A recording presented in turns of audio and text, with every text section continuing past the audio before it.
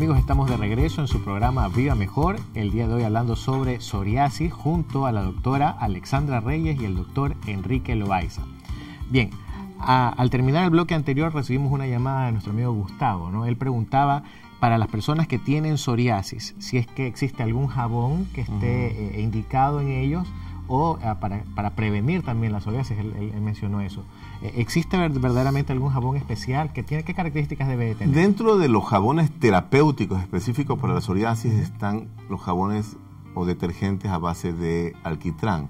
Pero mi, mi, opinión eh, muy personal respecto a eso y, yo, y muy médica es que debería de ser usado por prescripción médica. Correcto. ¿Sí? ¿Por qué?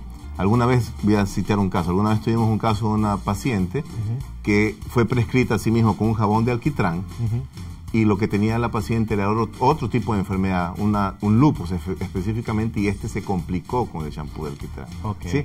Entonces, en línea general, un jabón, un detergente adecuado, un jabón adecuado siempre tiene que ser un jabón hidratante. Y ya que hablamos hace un rato de que no es una enfermedad contagiosa, no necesita utilizar jabones germicidas, bactericidas, que más bien pueden irritar la piel. Lo más importante en un paciente con psoriasis es mantenerla hidratada y que el aseo diario, que es adecuado, sea con jabones que no irriten la piel, sino más bien la hidraten. Perfecto. Entonces, en respuesta a nuestro amigo que nos llamó, sería, bueno, en base al alquitrán, sin embargo, lo importante es que eh, acuda a su dermatólogo para, en base a un diagnóstico previo, él prescriba el jabón específico para, no es cuestión de ir a una farmacia y comprar cualquier jabón y diga, ah, bueno, yo tengo psoriasis, de metal jabón y me lo voy a, voy a utilizar esto. Por mostrador podrá comprar un jabón hidratante, eso está perfecto, sí. pero si quiere un jabón medicado, lo ideal es que sea prescrito. Y hablando, de la medicación y la prescripción, ¿qué les parece si revisamos una nota que nos tiene preparada nuestro equipo de producción sobre el tratamiento de la psoriasis?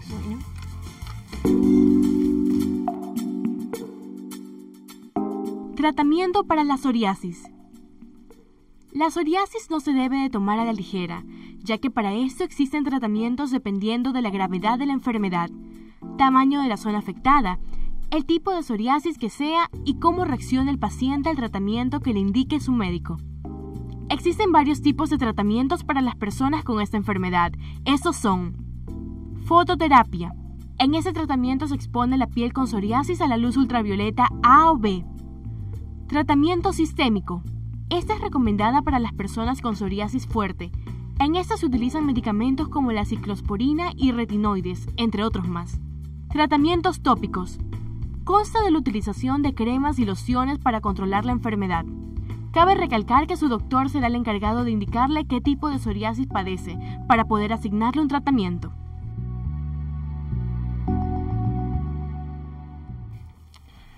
Bien, amigas, amigos, recuerden que estamos recibiendo sus consultas a través de nuestra línea telefónica el 042 22 16 18 y a través de nuestra página del Facebook Viva Mejor TV. Hoy estamos hablando sobre psoriasis. Bien, Alexandra, y en relación a esto del tratamiento, eh, ¿la psoriasis es una condición que puede ser o no curada? ¿Se cura la psoriasis con el tratamiento o no? Bueno, es una pregunta importantísima, porque eh, muchas veces el paciente se decepciona porque tú le dices tengo psoriasis y él inmediatamente él dice no tengo cura. Pero en ese momento el paciente tiene que pensar, es, o el médico tenemos que ayudarlo a decir es cómo va a controlar su psoriasis. El, el control es la base o el pilar fundamental en el tratamiento de la psoriasis. Eh, ¿Cómo se controla? Teniendo una buena hidratación, ¿no? aplicándose cremas que uno tiene que irle dando. Asesorando. Asesorando cuál es la crema o el corticoide que debe de usar, porque muchas veces solamente se queda con que llegó a la consulta y uno prescribió por el, momento de psoriasis que tenía un corticoide de alta potencia y se queda con ese corticoide de alta potencia. ¿Y qué vemos a lo largo de los años? Como no me curo, ¿para qué voy a ir al médico? el, médico es quien lo guía y quien le ofrece la gama de tratamientos que hay hoy en día para la psoriasis. Y entonces se queda con un corticoide muy alto y tenemos un paciente lleno de estrías, con eh, un Cushing, con obesidad. Entonces, más para que nos entiendan lo- los, los amigos que nos están viendo y escuchando, ¿verdad? Esto del corticoide es un tipo de medicamento. Es decir, cuando uno habla de las cremas. No toda crema es igual, ¿verdad? El contenido de las cremas difiere de una a otra. Y por supuesto, hay cremas que están indicadas no solo para determinadas condiciones de la piel, sino para determinados momentos. Es decir, puede ser que en un principio eh, la- los síntomas sean muy floridos, ¿verdad? Muy, eh, esté, digamos, la situación eh, muy Que tú necesites. exacerbada, exacto. Entonces, en esos casos se utiliza medicación más potente, más fuerte.